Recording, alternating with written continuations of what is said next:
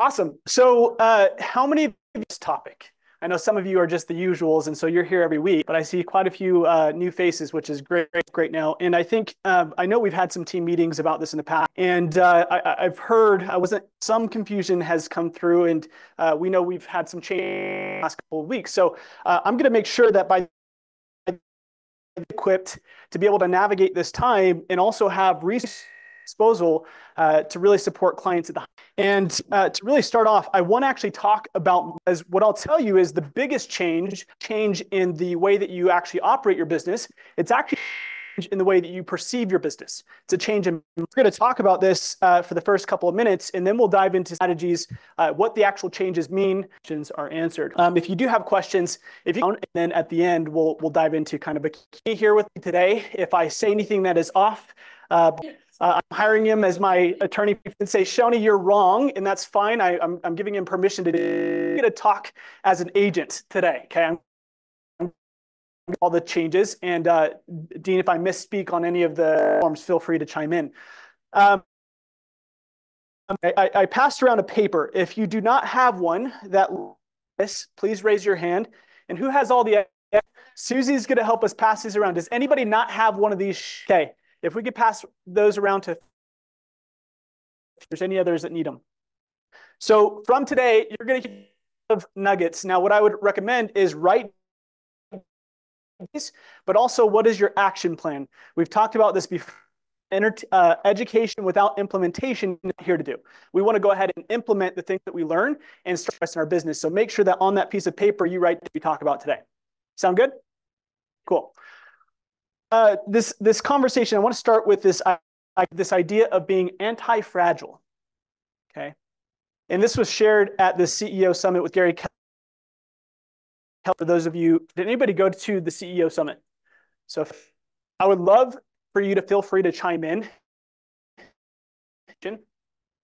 Um, I'm going to just read uh, through a few of these. Anti-fragile is a concept conceived by Nassim Taleb, anyone that is isn't fragile. Fragile is some anything that is easily broken or damaged. Anti-fragile is robust when exposed to stress, uncertainty, risk. Anti-fragile is the opposite. To think about in your life and in your business how this might be, especially in this time and in our come up against industry changes or shifts in the market. Frequent does that take place? It is actually built into our ecosystem in this industry. So we have to understand that everything is always uncertainty and risk. And so we have to get behind this idea of being anti-fragile. So some things benefit when, when exposed to volatility, disorder, stress, risk. Anti-fragility is beyond resilient, uh, resists shocks and stays. The anti-fragile gets better through those so why does this matter? In another word, simple terms is to be tough, right? To be uh, tough times don't last, but tough people do. And so this conversation is frame what it means for us to uplevel our toughness or scale, right? As a and so tough times are guaranteed. This is why times are guaranteed, especially in our industry. If you that can happen, probably will happen. With a on the planet, a one in a million occurrence people every single day. Okay, so stuff happens. And no matter where rough times at the moment, sooner or later, even rougher times are going to if it's not if, it's when are deeply woven into the fabric of human existence, crime, divorce, unemployment, illness, addiction. The list goes on and on. They forgot to add NAR changes on there. Um, directly or indirectly, the calamity and strike like a sledgehammer. So the reality is that tough times will happen. So when the real estate space, when 7.1 million homes are sold, numbers. So think back to 2020, 2021. Who, okay, who feels like the high industry have stayed the same for the last four years in your business, right? The reality is that we've dropped sold in the nation. Okay, so when it's 4.1 million homes sold, hit your numbers, it's probably not luck. Okay. And uh, a big portion of that is being able to adapt, evolve. Quote by Neville. I can't pronounce his last name, but it says, "Thousand parallel universes. You want to be wealthy." Them. So we have to factor luck out of it. Live in a way that if my life played out 1,000 success 999 of those times. In a career of 50 years, five booms and five busts. Who was here during 2008 timeline? Okay. So a lot of you have experienced some. You want to approach your life and your business in such a way that you thrive good times and bad. So you want. Here's a little uh, example. Whenever in life we have two options, we can either grow through it and there's still going to be some shifts that happen and we might take this we uh, grow through it and we become tougher or we find that some people are not tough enough uh, we've seen this directly with the, the brokerage as well and in as a whole of how many agents are not just because the NAR changes, but because the industry changes over the last two years. High rates uh, or change them to either choose to grow or choose to step back into comfort, go a different path. And so I want you to ask yourself time because we just had a major event and you've got to decide where you want to be months from now. Well, uh, perspective, he says predicting rain doesn't count. It that does. So that uh, what how are you building your arc? Are you actually making a plan action and what strategy are you going to than it did prior to these changes? Okay, and I want you. to, Uh, those who are at the CEO summit, any any that segment. Just the.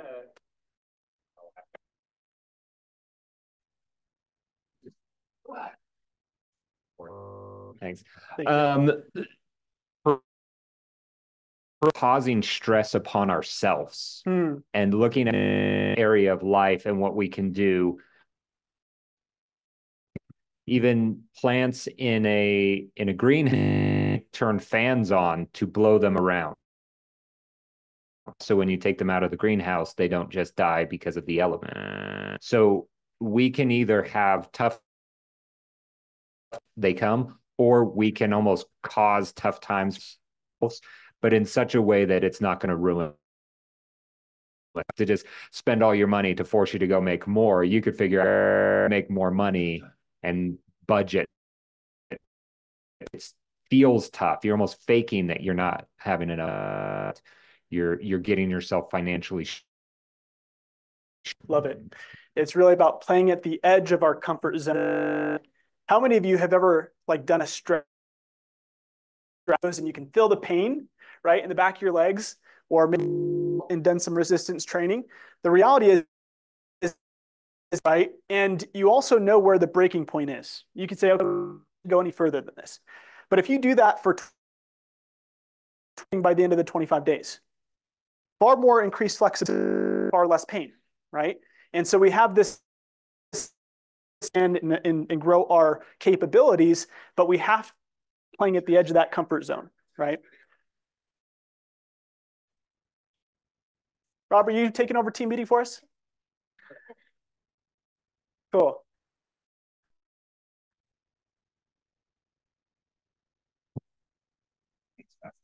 I think the thing that well is they talked a lot about how often are we creating for our kids to be less fragile in all those areas like what exercises are we doing have stress in uncontrolled environment emotionally like how are we challenging them and how us so that when they get to the other side resilient they'll uh, they'll gain energy from what they learn. Uh, just because i'm with Helena, i just dropped my kid that uh, ability to try to work through what that looks like and how are we doing to to create controlled in in our emotions our relationships how create that environment and grow from it. A good opportunity to learn. Love it. Thank you, Angie.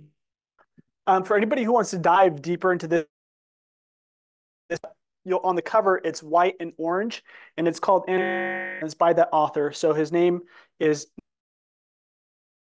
T A L E B, and uh, it's anti-fragile um, or that gain from disorder. Pick up and uh, obviously Gary Keller. So lean into that. Um, perspective on the mindset side, and then we'll get into some strategy here. Um, I'm actually going to play a video after this, and then we'll. Change is inevitable. Growth is optional. That's what I want you to use time. There are Dean. How? Oh, there he is, standing up. He's not in his seat. Dean, how many are in Utah? Just. Three thousand options out there for your clients. I take it back. What residential or real? It's about twenty-four thousand Cool. total. There's a lot of agents. What I do believe is over the next 12 months, they're if they're not willing to simply adjust some minor on how they provide value to clients. Promise is you're going to walk out of here in 30 minutes, fully equipped thing that you need to be dangerous in this marketplace. Have some really cool tools at your disposal. So, play this video, and then we will shift gears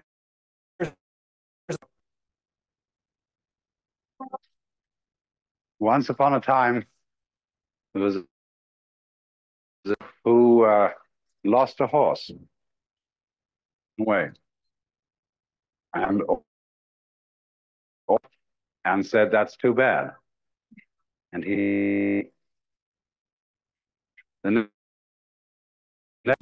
and brought seven wild horses with it. And all the neighbors came around and said why that's he said maybe.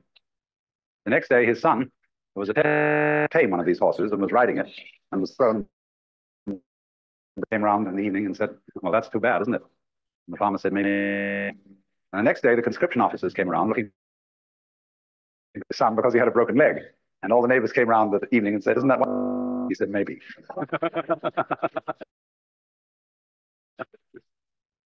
the whole process of nature is a process of immense complexity tell whether anything that happens in it is good or bad. So what will be the consequences of a misfortune? Consequences of good fortune.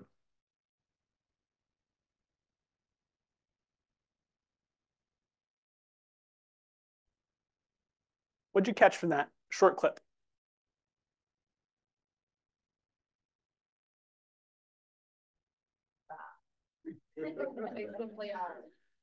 Clyde.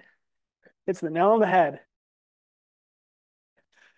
Things are neither good nor bad. And, and you can really look at many different aspects of your life. Uh,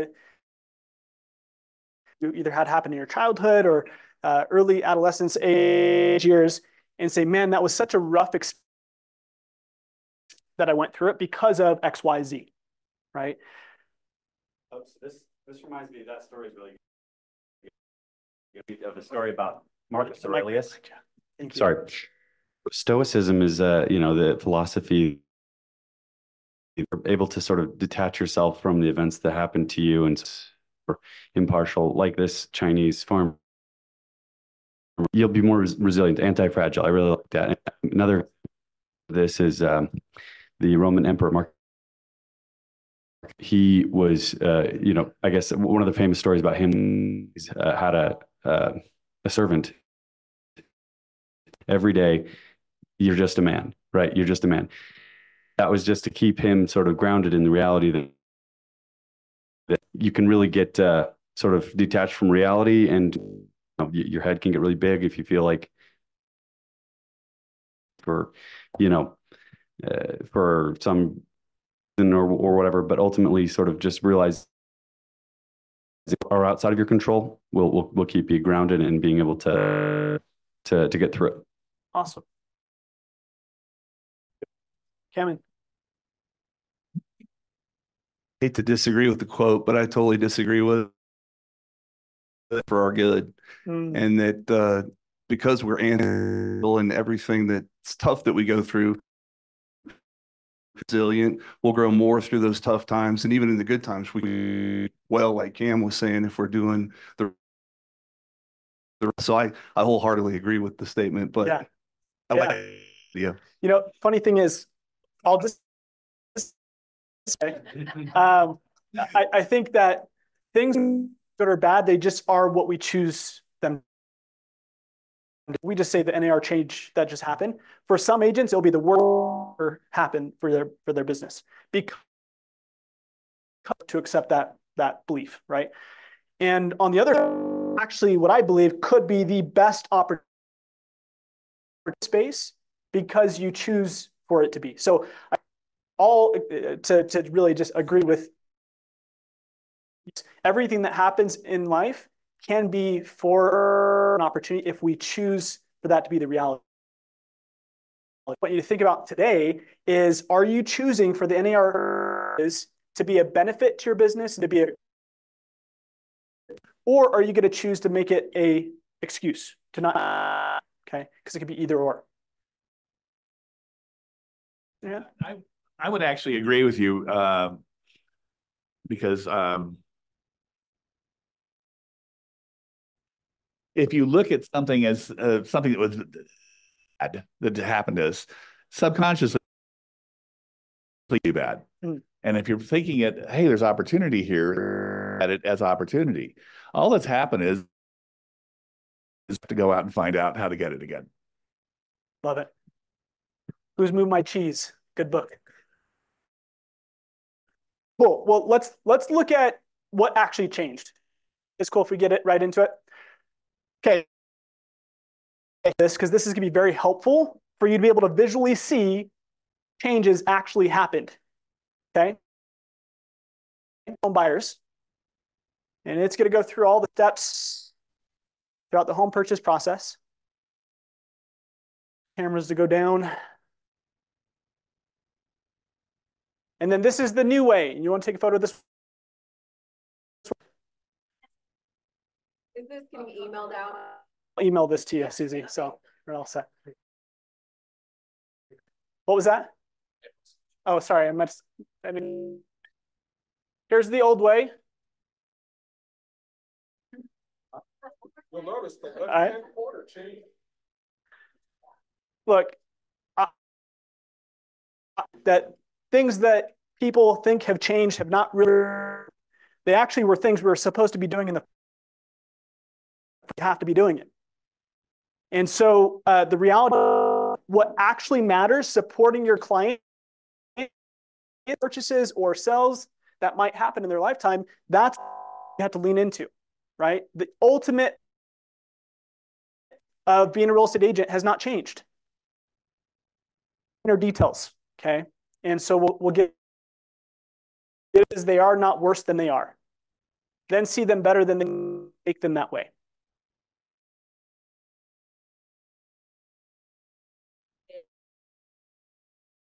It was it was what? Say it one more time. No. See, yeah. And, and easy twist on it as well, right? Um, and Tony Robb in front of the 20,000 people that were there. Uh, and I'm sure it led to some embarrassment. But then he questioned and said, I want you to do it again.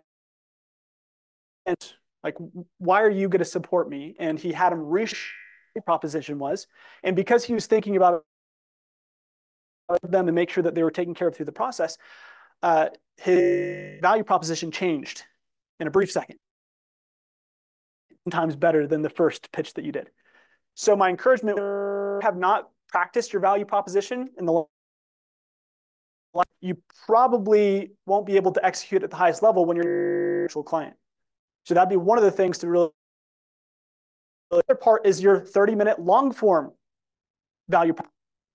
So actually come up with what are the for a buyer's agent to support clients at the highest level and have it have it, uh, an actual buyer consultation packet, the things that I do in getting you guys to the finish line. Because what you validate the compensation you're going to ask in the consultation. This is the second piece that has changed is to communicate the option that you, right?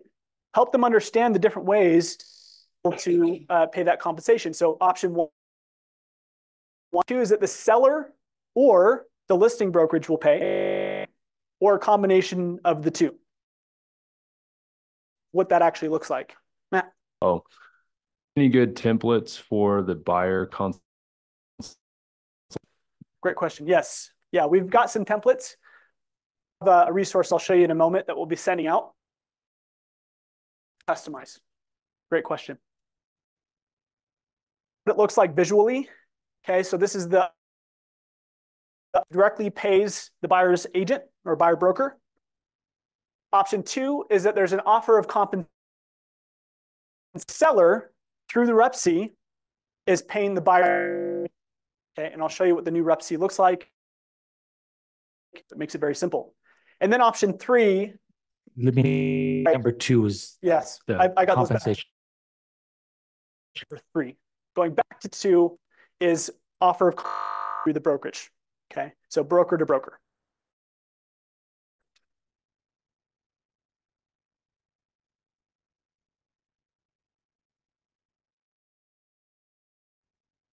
Is you have to have a BBA when?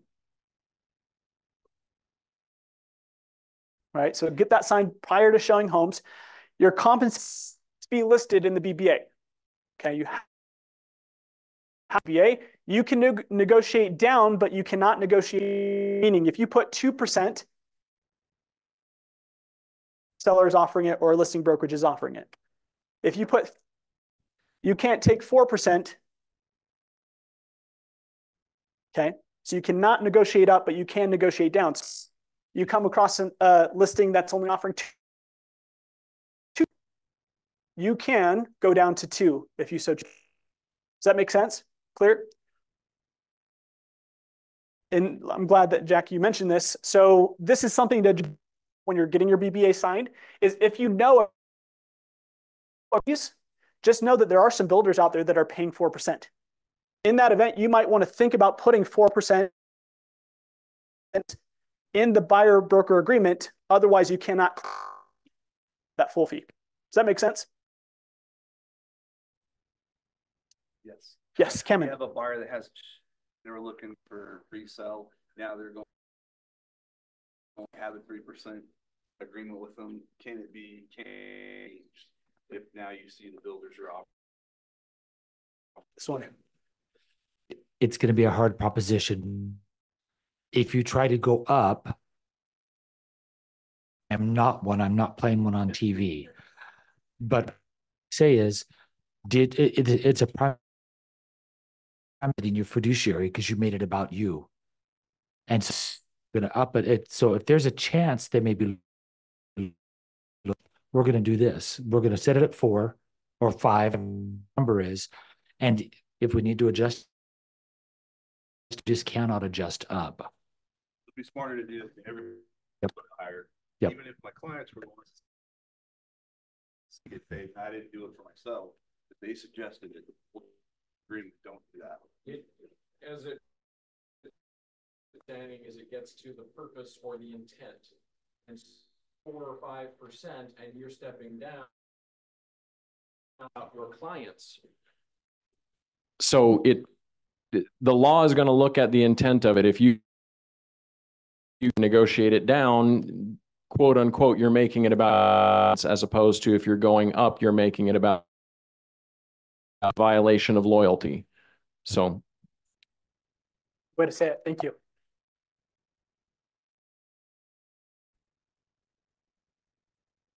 The third thing that has changed, this is all in the buyer, hopefully. The third thing is negotiation. So how do you actually submit the offer? This is gonna be pretty simple. So you've got three options. I'll call the easy button. This is the simplest way to do it, is to your offer right in the REPC. And in to pay the buyer brokerage compensation. Okay. So uh, use the REPC and I'll show you that. That is you're having the listing brokerage pay the buyer brokerage. Okay. So broker to broker, this is kind of like the new FSBO before. What is the first step that you do to your client a FSBO? Get your agreement signed. Yep. So you call them and you get an agreement signed with a right saying that they're willing to pay a buyer. This is the same thing. You'd be calling the listing agent and getting their ahead of time that their brokerage is going to okay. This, as you can see, adds an extra step in the process. That's why I personally like number one. You could do it however you because it's the easy button. Now, this is the real estate brokerage compensation agreement. Want to become familiar with, where you're asking the or the listing broker send that over to you. Okay, so you'd ask for send that over if they are paying the compensation directly. Three, the third option is a combination. So, for example, you might have in the REPC that this is paying 2%, and then the additional 1%. In that case, you would have in the REPC 2%, and then you'd have to have this agreement stating the additional 1%. Those would be uh, numbers together. So it'd be a total of three, right? Two in the brokerage agreement. Yes. I know we're uh, short on time and stuff like that, but I mean, I'm already getting you're asking them for what they're what they've been offering. They're like, well, what's how good your offer is going to be. Mm-hmm. So they're you know to try to negotiate us in front of our clients, which is something that you know we haven't really. It's something we ought to consider because uh, you know you're, you're going to get and uh, you know you. Frank, from the list side, I think that's the best thing you could do as a it's I'd love to see your offer. It's going to be a point of of negotiation. Straight. But if it's in the listing, they've already decided to. You're, you're, you don't have to. Okay, you rise, but you've not been instructed to. Said, hey, have you guys decided on a BBC? What is it? There is, go ahead. I'll give my response is simple. Hey, yes, my client BBC. It just depends on the strength of your offer. So feel, feel okay with you guys.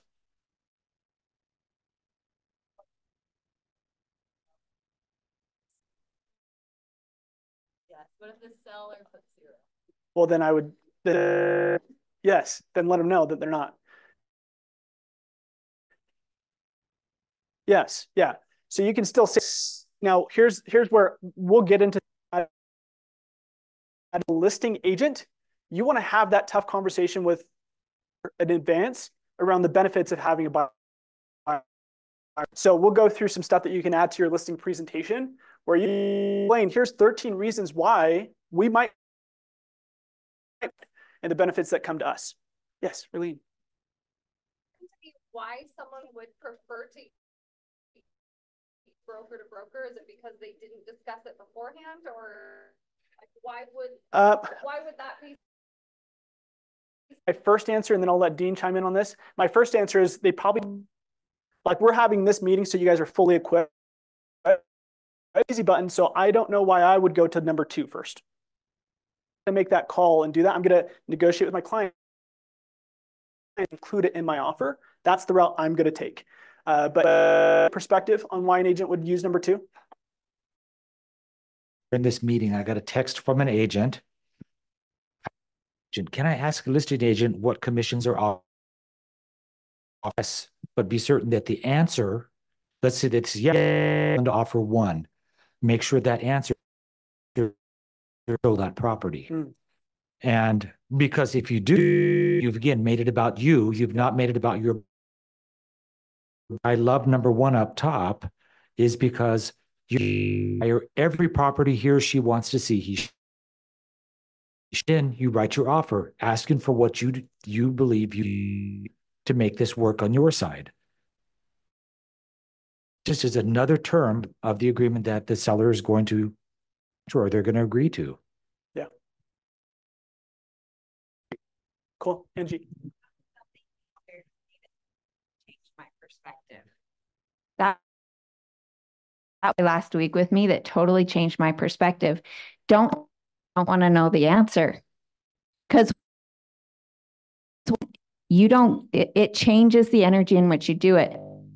The energy in which we do something is more and you would have shown your clients all of the houses before. So why are you adding that extra step? Walk into that home with them as well. Like if you you can then ask for 3%. If you admitted 3, I'd be irritated. Just don't ask and you the listing agents way less. Like, you know how many calls I've gotten this week on what our commissions are? Guess what? we intend to pay 3%. Show my properties and we'll do the right thing. Nothing really changed. We get all wrapped up in that. We stop showing. Show the houses, write the offer, ask for 3%, and you'll probably make more than you ever have. Amen. Thanks for that. It's great. Jack.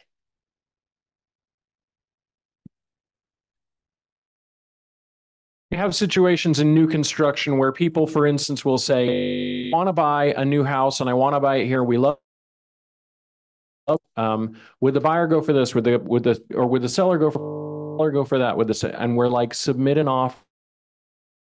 For an example, had a buyer that had bankruptcy close prior to February of the following year, asking Edge to hold the home off market, and they said we date of February, you know, way. And Edge rejected that proposal. But if you offer X amount, long story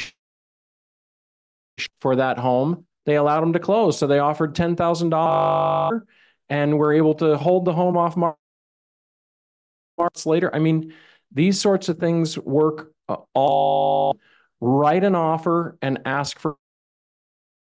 for Thank you you selling the homes? Yes, Chrissy.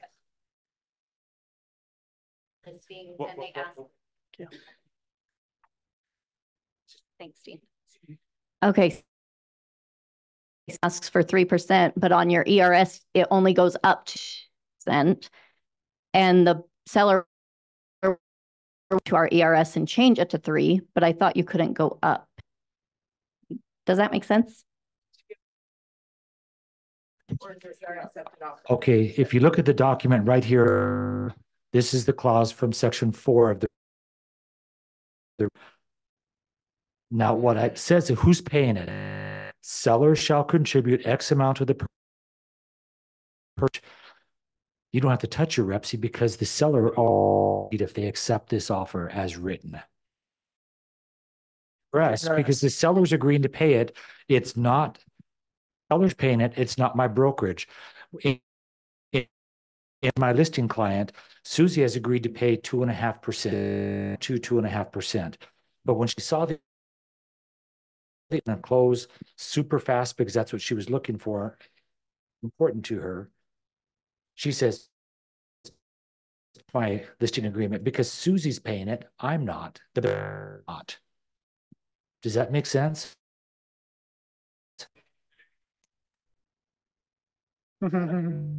using the payment addendum or, or, or sheet back and forth. Who's paying? If it's my brokerage, my broker and a half percent in this scenario that we talked about on the listing agreement. The seller agrees to pay three, 4.3 of the REPC. Seller is paying it. My brokerage isn't it my brokerage fee and they, they're instructing title to take and pay the buyer's brokerage.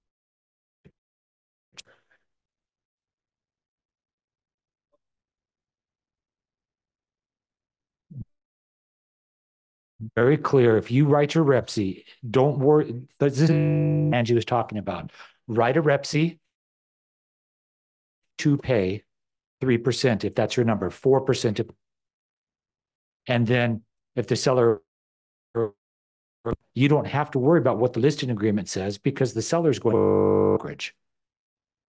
And all that. help with kind of the visual cues of this.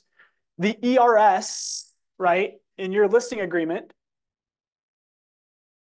have a section where you're saying this is what my listing compensation is.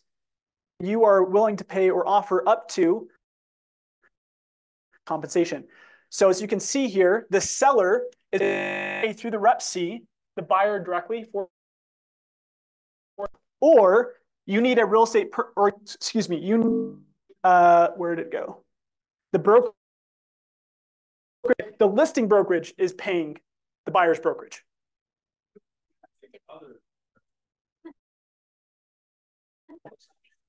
Same question. What? Okay, I think we're getting into the weeds again. I'm Trying to go more general. Had a question come up earlier. When do we need the seller payment addendum? Initially, that would be on an agreement that is not. That's the only document right now that has it. So when you're on a, on a land, on land or a commercial seller payment addendum. But otherwise, I would say use the REPC and have the seller brokerage perspective, it is so much cleaner when the seller pays it. Because what have the lawsuits been about? Well, if the seller signed off saying, I'm paying this, dang it, you, how can you not know this is going to pay the buyer? Didn't even come through my brokerage. It seller directly to the buyer. So I've got a question. Okay, I'm not trying to go in the weeds, but I'm really, I really don't know this part. So if we don't ask, can I come up? Ask the listing agent, the commission, this says that it is in addition to I put three, three percent or four percent or whatever. Their thing is two percent, then it's five percent. So if I send this without knowing what they sign, so can we take, can you tell them? To? No, so this is, you do not have an agreement with listing brokerage. Okay, let's say you're the buyer's agent. No, you're not. So this document, the real estate brokerage agreement, if you have, I know, I, if you have negotiated with the listing agent as the buyer, have signed this document, okay? Addition to what's on the REPC. So if you add number documents, that's when they're adding them together. Yes. You have to have that. If you've not signed this document, there is no agreement on the con, it's not in addition to. It doesn't matter if they verbally or in an email or tell you, it has to be contracted between bro. Nope. Doesn't in their ERS. It's whatever was agreed to between. How about, and agents are authorized in this bro, that document. Yeah. Cool. Wanting, this is what you want to offer. Yes. If Kim. you use it. So as a listing agent, TRS for some reason uh says two. And and the buyer asks for three and the seller agrees to that. Change the ERS, but is there some uh, like a escrow instruction form? My Escrow instructions. Okay, all right, that was. Instructions, if the seller agrees to pay more than what they originally were thinking, and then that's the. talked about this, but I'm thinking out loud here. That may be a scenario where listen might also send a counter. We already have a an ERS for two, going to pay an additional one, but I'm I'm already paying from the. It's going to be those in addition to. Does that make sense? Yeah, that's the way of doing it. A little messy, Um, but that, Have a, a listing agent say, we're going, the brokerage is going to pay. The seller is gonna pay one, and so we're. And tie the compensation agreement it into the REPC. Yeah. Does that make sense? Okay. It's, it's more complicated to do it that way, but you may see a do it. That's why I'm bringing it up is just understand that happens. Matt.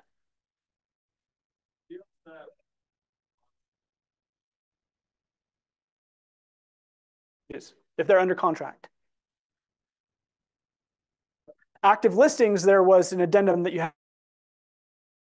Okay, I'm going to jump forward.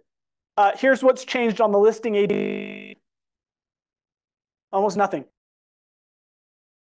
The negotiation phase, right? So of course we know your our brokerage compensation is not listed on the MLS. That's far as what you're going to expect from offers coming over is probably where the changes will occur. So number one,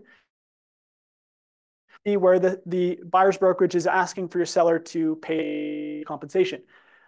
Uh, again, this is they contacts you ahead of time as the listing agent and asks directly from the brokerage or asks if you're paying one from the uh, event, they may request for you to send over the real estate brokerage agreement, which is that form that we just showed.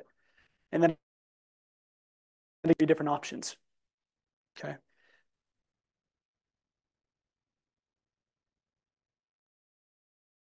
Logistics that I would just think about. Uh, one is an unrepresented buyer. Um, I know that that would happen a little bit more often. And we are, uh, on purpose, she got a lot more stuff to go through with you guys, but we have lunch. If you have to leave, that's fine, but I promise you're going to miss out on the best stuff. want to stay an extra 10 minutes. Um, if in the event that you have an unrepresented buyer, you might want to think through be compensated for the extra work that goes into sell, right, as a listing agent, and taking care of that unrepresented, right? Because my duty is to get the client that an unrepresented buyer, there's a lot more that you might have to do, to, right? So think about that ahead of time. In your listing appointment, a certain fee, whatever that is to you, if that's one and a half percent, 0.5 percent, whatever you'd like, your listing fee if an unrepresented buyer comes with an offer. So think about that and the way an addendum for the unrepresented buyer. Hey, my fee is three, my listing fee is three. In addition to this, if there is an unrepresented buyer transaction, my additional fee is one you charge for an unrepresented buyer. And you might want a listing presentation, all the things that you're going to do, which I'll show you in a second. And then also, uh, option three for an unrepresented buyer, as you know, is to instead of having them, you know, fully go through unrepresented, uh, recommend their agent on the other side. So you can do either of those. Last meeting, Dean said that we have to do it backwards of the. Oh, sorry, I have. And then in the case that it's not an unrepresented buyer. Two options, and sorry, I skipped number two. That's is on the top line of your ERS saying I charge four four and a half, and then saying in the addendum no more than six percent or five and a half, right? Because if four and a half at the top section saying this is my listing agent fee in the buyer brokerage commission, right? How much do those numbers? Seven and a half, right? So that's we'll not pay more than six percent, right? Uh, uh, I, through this as a listing agent, I would prefer to put through it is, and then add an addendum saying I charge an additional 1.5 in the addendum. Does that make sense? That's why you're you're at addendum with your listing agreement same time. Yep. So it's a condition that that you're so it's a con it's conditionally yeah, clauses. So, so I'll, I'll introduce you to the playbook. We're not going to go because of time. We're going to send this out. But the goal was to say, hey, how can we make sure that you're equipped with resources to be successful um, and really have something. So I'm not going to go through all this. The two things that I'll explain to you that we, we spent a lot of time on, on, on consultation, your listing appointment and your buyer, uh, buyer consultation are the most important because what you have to do is articulate your value to your client. So just think through what your listing package, what you might want to add. So we have a lot of templates in here that are that you can literally just copy the template and add it. Okay. Uh, this would be one of them that I would include as a listing agent. Say to a seller why I would make the buyer brokerage compensation out there, right? And why it's valuable to have an agent. And uh, these. So here's one example. You, in the past, some agents had that they would offer to their clients, right? I charge four or five is how people would do it in the past. And they would say part of this towards the buyer's agent, okay? You cannot lump that in any longer. You have to separate these fees. And so the fee is two and a half percent or three percent or four percent as the and here are the different things that I'm doing is feel like is the best for you. And then you might and I recommend offering a buyer brokerage commission. More traffic equals more offers, and more offers equals more money. And then, by the way, I do my fee is 1.5% for unrepresented buyers. What that means is, I'm going to go into explaining that. Now, case for that one one and a half percent or whatever you're charging, right? This is all custom. These are templates that we've already created for you. You go value proposition, what you're doing to service your clients. Here's what I. I do, and it does state in this top section, really an attorney, uh, but broker, Dean, you can state, okay, my fiduciary duty, the seller. So you're going to communicate that saying, hey, not representing the buyer, but table, there's still some really important milestones they have to cross finish line. So here are the things that I can't, can't hurt my fiduciary duty to you, but make sure that they get to close. Okay, so here's the eight things that I'm doing that substantiate percent fee that I'm charging, right? Oh, and by the way, max paying in this case four and a half percent. Still uh, slightly more cost effective for them to go that route if happens. Any questions on this? So the templates are in the, so you're, you're all going to get this.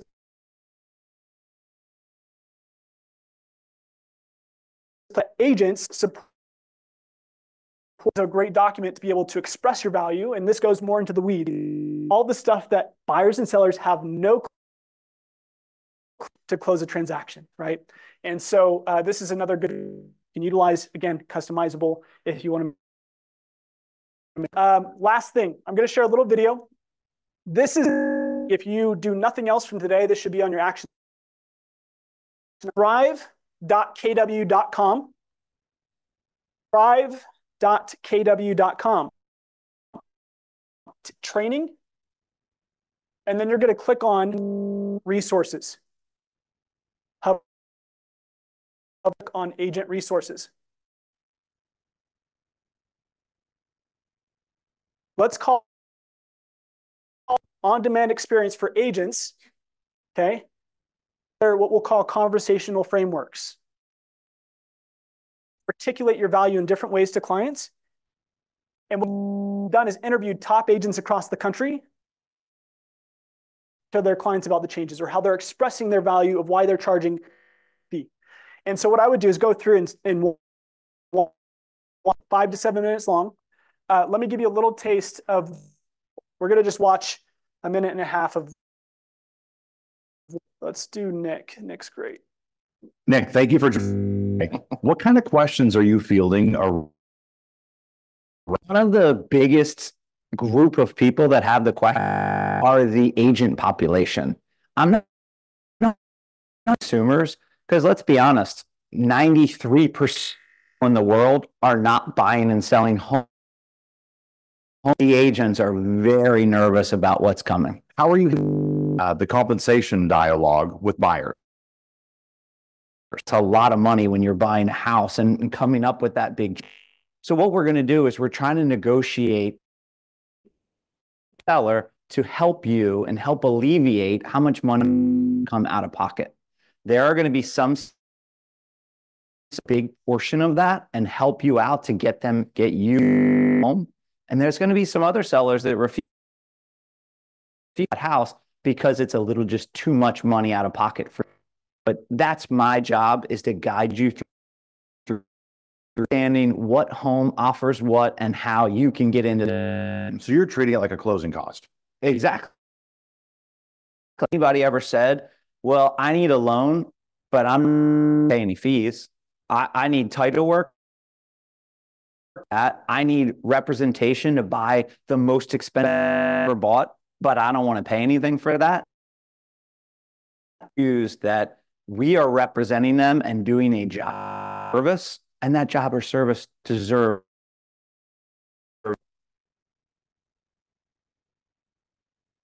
should clap for that last statement, right? Reality is we should not shy away from what we're asking as long as there's equal this idea that price or fees only matter in the so if you're not very clear on how you your goal is just hey i'm going to find a home text it to you and then when i'm an offer that's what i'll do and that's it that's the ex- there might be some buyers who are not happy with paying a certain fee. But if you're a full service agent and you're saying this is exact, make sure that you guys have the best experience possible when, when buying a new home, substantiate that value that you're asking for. Got lunch in the back, but I want to just get three to four ahas. If you have any questions, those out. I'm willing to stick around. Uh, I'm sure Dean is. You guys have, but was this a little bit more clarifying today for how to? Cool. So what are your ahas?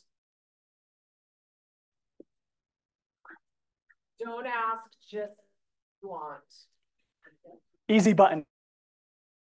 Do you feel like as do you feel like as the listing agent, you are forthright with about compensation, you lose leverage? You? I would say, and I know uh, the reality is that you're having that conversation with us on expressing the value of having a buyer's. So my thought is, well, why flip flop just because the buyer asking for it, right? If you've really explained the value up front, I still am going to hold my cards close and potentially use that as an hour because I don't know what kind of offer they're going to send. A substantially low offer, of course, my seller's not probably not going to be open compensation, right, in full. And so, I, and, and just approach it with saying, "Hey, my client is willing to pay a buyer compensation, uh, dependent on the on the strength of that we're happy to look at it. That's how I'm going to approach it.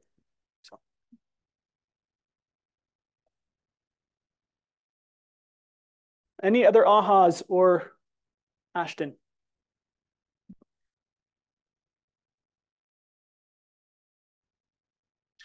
Can we call it a concession? Your seller does want to pay, offer that to a buyer's agent. Can we just call it a con, can still advertise like, hey, hey, this, they're gonna offer a three percent concession, your buyer's closing costs. Like, is that? concessions on the MLS. You want to be, if I understand, Brad was saying, Brad Belkey from the MLS, free listing going to put that the seller's willing to for the buyer's brokerage comp or that's going to be an issue over time. Was that my understanding? Mm, the correct Yeah, understanding? the sellers can offer cons- less, but you may not say, and these concessions you can use by your agent, you know, it's like, uh-uh. Yes, um, that's, but I want to be really specific. You want that you don't want it to be paid to the buyer and then the buyer has to buyer's brokerage because we've got a check for fifteen thousand dollars. I I see couches in my future, you know. Which again is important. It does state that title can withhold those fees. So the buyer's not paying title, will will take care of it. So. I don't know. I can't tell you what this, This is so today, or if it was Corey's got something. Just gonna add to kind of what's been said about Uh-huh. the amount of compensation that's offered. I've uh, stills on the other side in the corporate world and other things like this this real estate world that you guys are just offering up information to the thing, you know, giving away your position. My listing sides or any business deals I do, I don't go out and pay this, da, da, da, you know, and it's like, I've lost a big chunk of it. Yeah. So expect that coming forward, because I've heard it in other brokerages and this kind of we'll see what your deal is and da, da, da, da. Because in, in the commercial world, you don't know anything. Yeah. So just expect that as a change, not as an insult answer, because it, it's gonna happen a lot more. legal side of this, but I will talk from a strategy perspective. How many of you as a listing agent know their BBA as far as compensation goes? No, right? So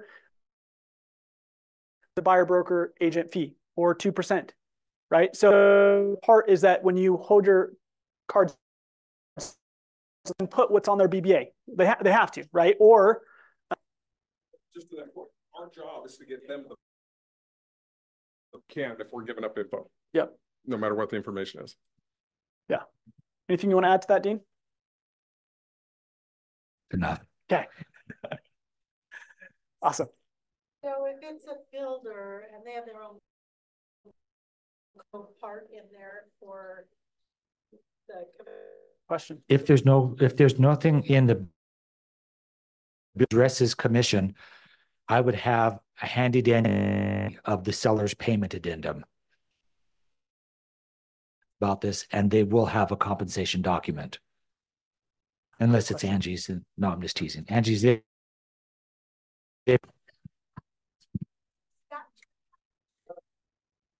So Angie had somebody ask for two and a half as a builder? Pay three. Wow. No, they asked for two and a half. You were willing to pay it.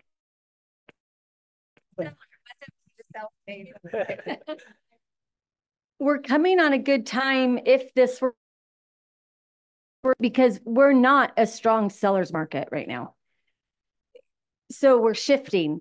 Things are I don't know about you, but my listing, yeah, they asked for going to offer two. She asked for two and a half